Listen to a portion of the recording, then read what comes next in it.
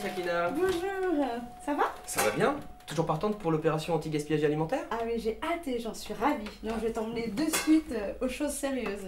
D'accord, dans la cuisine. On y va. Donc voici ma cuisine. Donc bien sûr, il y a le frigo, Évidemment.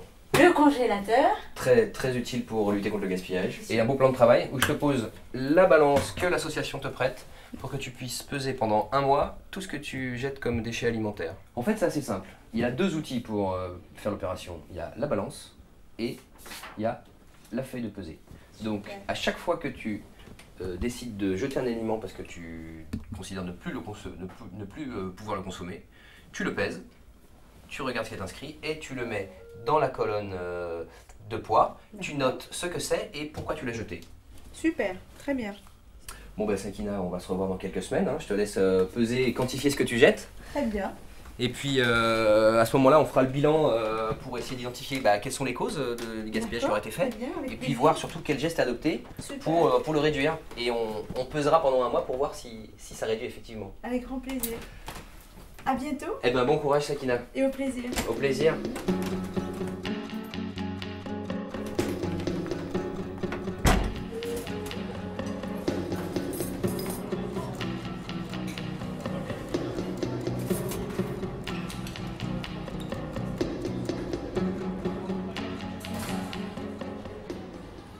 On a constaté qu'il y avait de grandes disparités, de grandes variations selon les jours.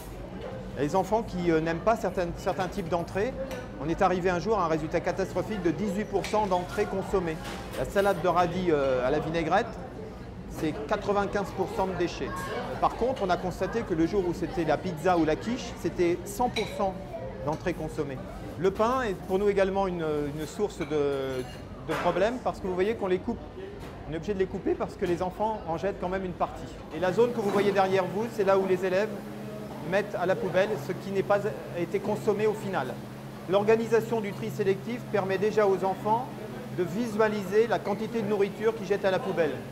Ensuite, la seconde chose, c'est que la partie des recharges qui part à la poubelle est complémentaire du travail que l'on a fait en amont, en essayant de comprendre pourquoi les enfants n'aiment pas manger certains plats et pourquoi au final, ils en ont quand même mis à la poubelle alors qu'ils avaient le choix.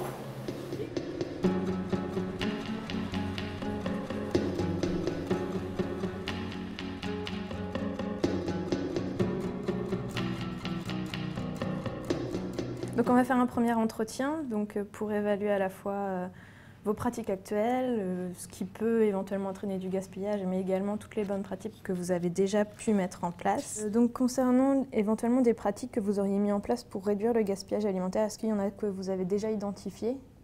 Euh, c'est on va dire des pratiques de, de bon sens, c'est-à-dire de commander euh, en flux tendu, c'est-à-dire au fur et à mesure des besoins euh, et en quantité euh, limitée, euh, de manière à, à jeter le, le moins possible.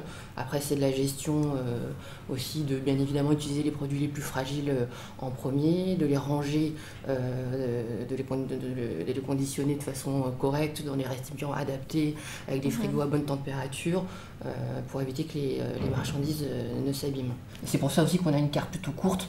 On privilégie euh, le produit frais, donc forcément un peu moins de choix, parce que plus vous multipliez les choix, plus, euh, plus vous risquez euh, des, pertes importantes. Les, les quantités sont aussi étudiées pour que ce soit euh, ni trop ni trop peu. Euh, c'est l'avantage aussi d'une cuisine euh, entre guillemets gastronomique, c'est que les gens viennent pour se faire plaisir, donc il y a assez rarement de, de choses qui reviennent. Merci Très bon après-midi. Au revoir.